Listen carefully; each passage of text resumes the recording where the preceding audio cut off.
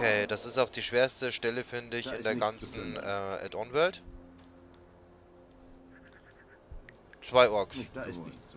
Zwei Orks ist hier, finde ich, die schwerste Stelle. Äh, ganz einfach, weil dir keiner hilft und zwei Orks ist eine Hausnummer, sage ich jetzt mal. Da musst du schon... Also nichts können ist es eher nicht. Ich habe mich gerade extrem schlecht angestellt. Ich hätte das wirklich auch ohne einen Treffer schaffen können. Also das wäre jetzt nicht so das Problem. Aber das Problem ist, dass du ähm, schon verdammt was auf dem Kasten haben musst. Ähm, also geskillt was auf dem Kasten haben musst, damit du mit zwei Orks fertig wirst die machen schon ziemlich viel Schaden. Vor allem, ich habe jetzt die stärkste Rüstung an. Das ist nicht zu vergessen. Das ist die leichte Drachenjäger-Rüstung. Jetzt stell dir mal vor, du kommst hier aus dem zweiten Akt her und das Beste, was du hast, ist wirklich die Ravensguard-Rüstung oder ähm, vielleicht noch die Rüstung des, des der, ah, ja, ist der Ring des Wassers.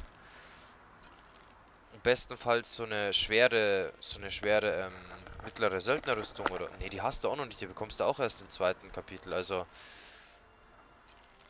das ist schon schwer, wenn du, wenn du im zweiten Kapitel herkommst. Also im zweiten Kapitel im Minental. Und im Minental, wenn du einmal im Minental bist, kannst ja, bist du ja quasi schon im dritten Kapitel. Weil du beendest ja das Minental eigentlich.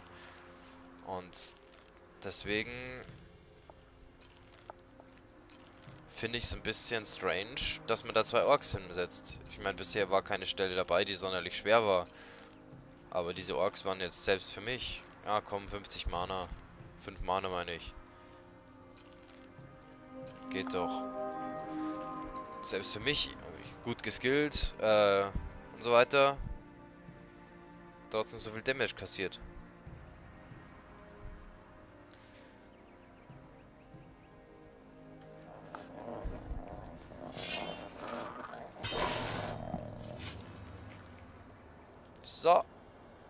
Dann setzen hier wie sowas wie eine Sumpfratte hin. Das ist einfach lächerlich. Ich möchte euch jetzt auch einen Trick zeigen, wie man als schwacher Charakter einen Troll besiegt, ohne diese Technik, wie ich sie beim schwarzen Troll demonstriert habe. Ja, dreh dich mal schön im Kreis. Sagen du nicht runterfällst, ist mir das wurscht. A, B, C, D, E, F, G. Genau. Aber erstmal machen wir die Snapper hier vorne kalt.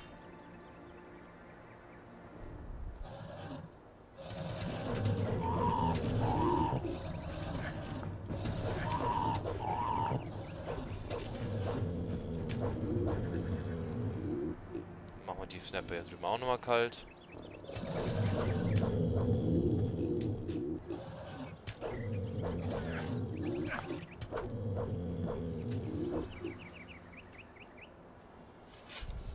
Gut. Ähm, ja, wie funktioniert das jetzt? Ähm, Technikerklärung. Ähm, ein Troll dreht sich ziemlich langsam. Und was tanzt die ganze Zeit um den Gegner rum? Richtig, ein Goblin-Skelett. Hat jetzt ein Goblin-Skelett eine Chance gegen einen Troll?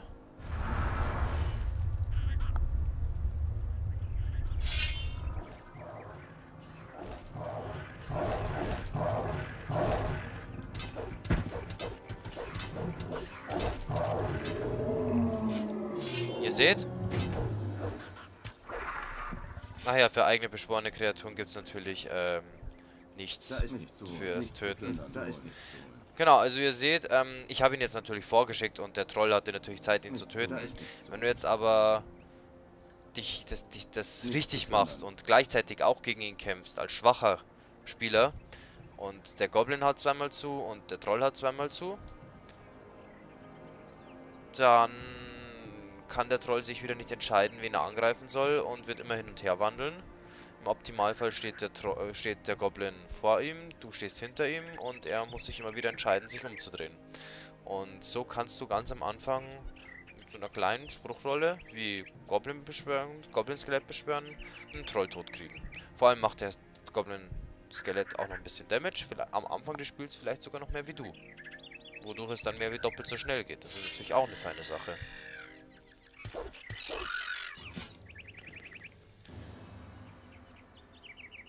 Okay.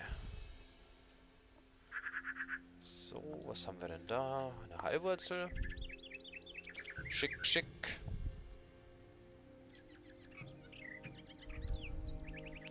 Da vorne sind wieder Goblins, die mag ich überhaupt nicht.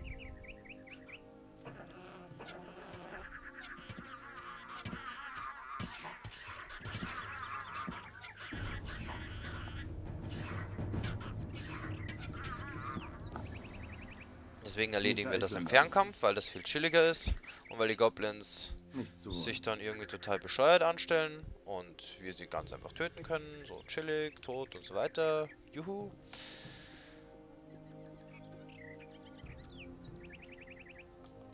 Also ich bin kein bequemer Spieler, der sich alles leicht macht, aber ich möchte euch, wie gesagt, so, meine, so ein bisschen meine Tricks verraten, wie ich immer das Spiel so durchspiele. Meistens zumindest. Ich habe es auch mal als Magier durchgespielt. Da fällt dann natürlich alles flach und da musst du dir ganz neue Tricks überlegen. Wobei ich muss sagen, als Magier habe ich anfangs ah, ich auch ich so viel Geschicklichkeit gehabt, dass ich ähm, den Meisterdegen anziehen konnte für die ganzen kleinen Viecher. Also ich hatte keinen, noch, noch nie einen, Voll, einen reinen Vollmagier. Das hatte ich noch nie. Und ich glaube nicht, dass ich das jemals tun werde. Das hört sich nämlich nach Stress an.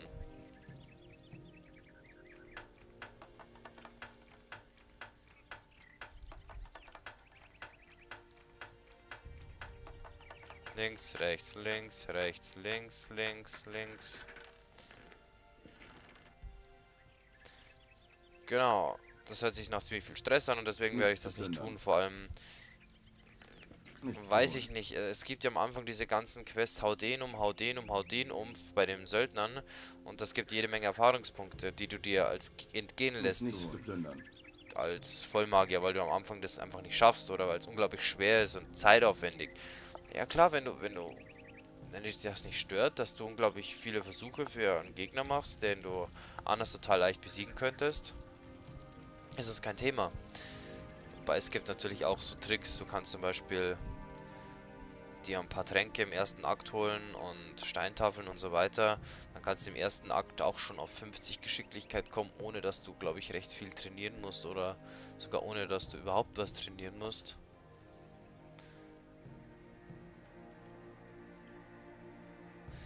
Ah ja, das war hier dieser Geheimweg. Das sind Goblins, glaube ich.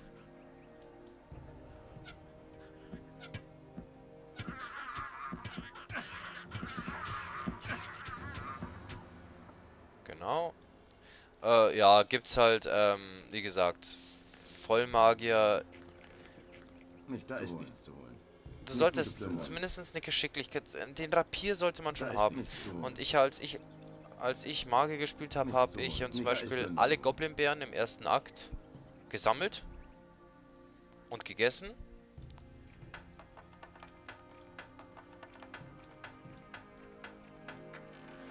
Und alle ähm, Steintafeln und so weiter und alle Bonusse und alle Tränke.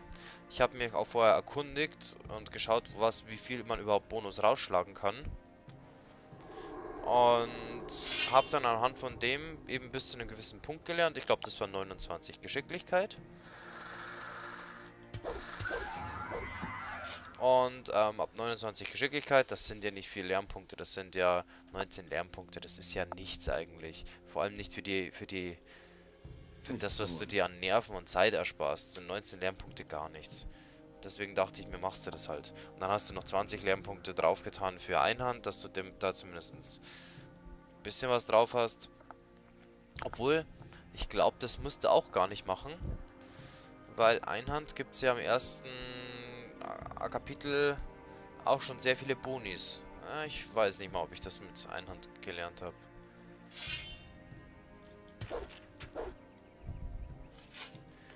Na gut.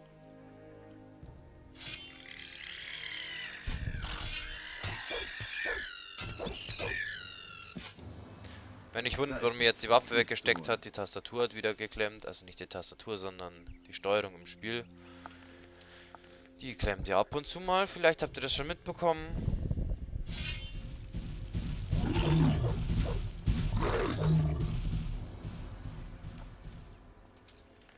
Ja, so sollte man es nicht machen.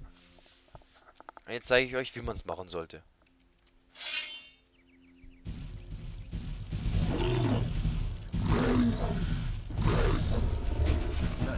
so sollte man es machen.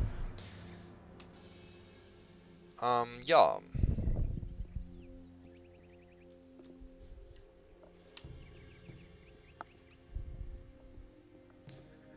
Gut.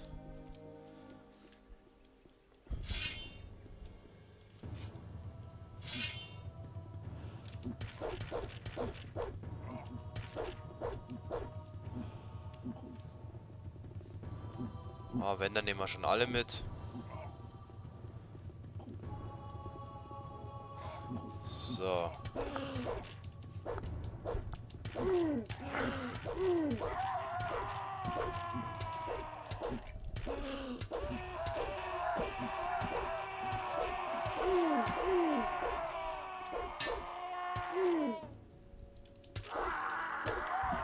Ja, wer, wer, sich jetzt wundert, warum ich äh, so komisch kämpfe gegen die.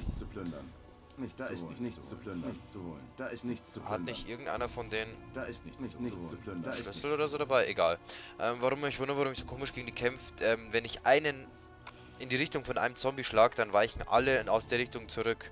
Und da die leicht aus unterschiedlichen Richtungen kommen, tue ich nicht meine Maustaste gedrückt halten und immer nur einen angreifen, bis der tot ist, sondern ich lasse nach jedem Schlag los und ähm, lasse den eben automatisch den nächsten anvisieren. Und den, den er zufallsbasierend dann als nächstes anvisiert, den greife ich dann nochmal an. Das ist, glaube ich, die schnellste Methode, wie du alle tot kriegst. Zumindest als Nahkämpfer. Ich bin kein Nahkämpfer, ich bin Fernkämpfer. Genau, haben wir ganz vergessen, ne? Hey, werdet euch denken, was labert der Idiot hier von Fernkampf? Der macht doch alles... Der macht doch alles mit seiner Nahkampfwaffe. Ich da ist nicht so. Kommen schon noch dazu. Keine Sorge. Es ist, wie gesagt, ja alles noch keine, es sind alles noch keine richtigen Gegner. Und je länger man sich Zeit lässt, dass man eben diese ganzen Bonis nimmt für den Bogen, desto desto ähm, stärker ist man dann am Ende hinaus. Und am Ende hinaus sollte man auch stark sein, weil das ist ja das Entscheidende. Vor allem, es geht jetzt auch ganz gut mit.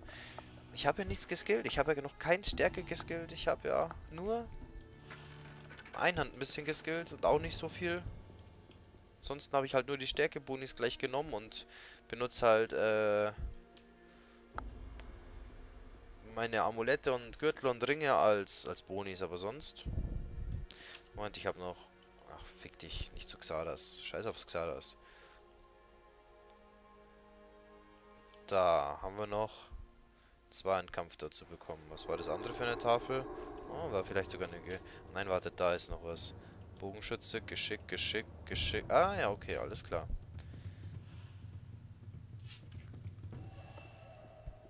Ja, auf jeden Fall. Es kommt schon noch der Part mit dem...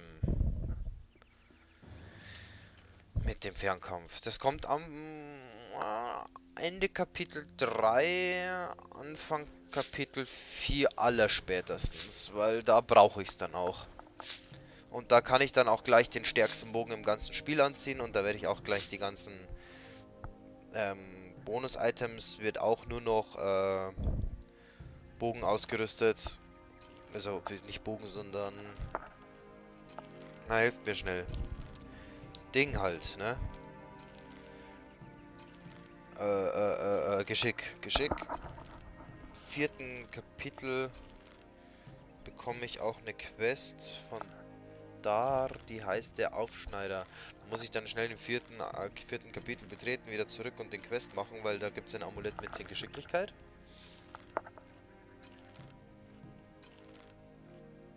Und das ist schön. Es ist, ein, ist die einzige Chance im Spiel, wie ich ein Amulett mit Geschicklichkeit bekomme, soweit ich das in Erinnerung habe. Als Drachenjäger schräger Magier. Als äh, Miliz schräger